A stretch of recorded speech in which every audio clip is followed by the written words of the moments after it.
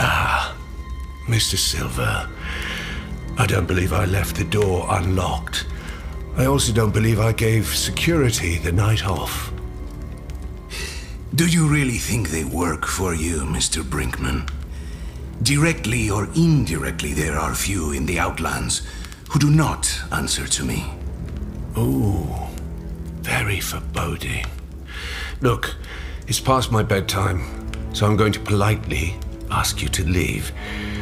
At gunpoint. Uh, let me ask you a question. Do you shoot all your problems, Mr. Brinkman? Just the ones who sit in my favorite chair. What of your game? I haven't any interest. Out. Of course, Mr. Brinkman, of course. Just one question. How far would you go to protect your son? Threatening my boy is a mistake. You bastard. Oh, is that what I am? It's hard to say I know little of my parents. Pull that trigger and your boy dies. You know this. We made a deal. I come out of retirement. You keep my son safe. You will not enjoy renegotiating the terms. terms? Renegotiation? No, this is but a casual house call. Or I'll kill your son if you do not cooperate. Now tell me, how far would you go to protect him? You know exactly how far. You've seen. Oh, yes, everyone's seen the grand sacrifice you've made on talk shows, magazines, billboards. Very noble, living out your son's dreams. His dreams would get him killed. He's safe. Though he may hate me forever. We are kin. You and I. My son hated me. Well, that's hardly a revelation. Anyone who turns on the news knows how Octavio feels about his father. No, no, Octavio's not my. There was someone before him. My joy, my tether to the earth. Oh, please don't tell me Eduardo Silva had a soul once. My boy was sick. I moved the stars to find a cure. Silva Pharmaceuticals was built on this quest. I hurt people. Many people.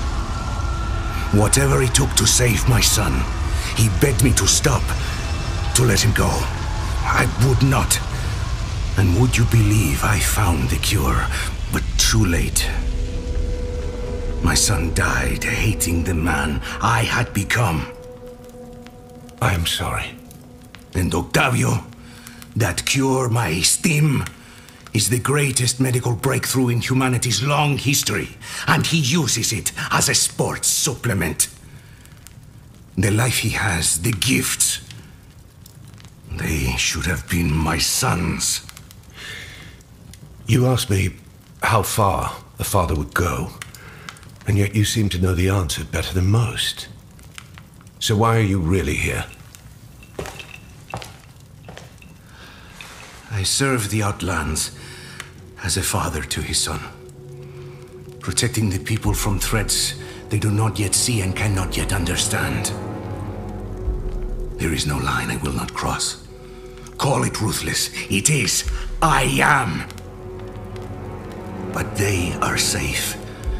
A father's burden is heavy, and I. I wondered. Is it all worth it, August?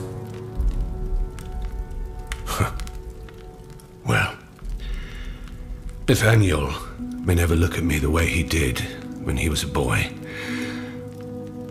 But at least he's alive to hate me, Eduardo. yes. Good. Yes.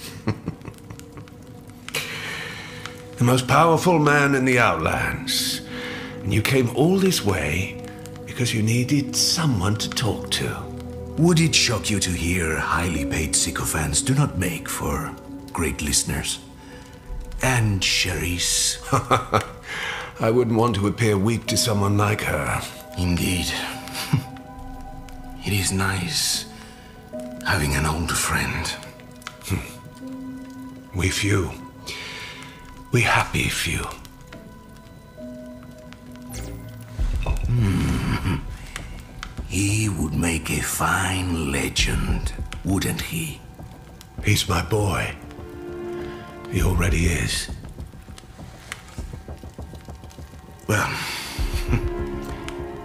thank you, Mr. Brinkman. You have given me the resolve for what comes next. What comes next, Eduardo? It's Torres, actually. And the future, my friend. The future.